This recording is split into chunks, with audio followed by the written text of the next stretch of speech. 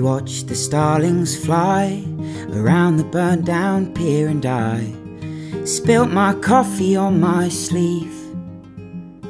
She wiped it with a smile and told me I was juvenile and kissed me softly on my cheek.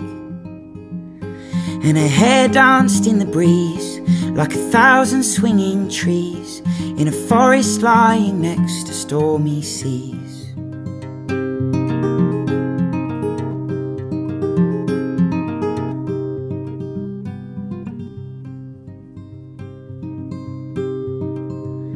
Where we watched the wintry sky turn a shade of turquoise. I whispered softly, I feel lost.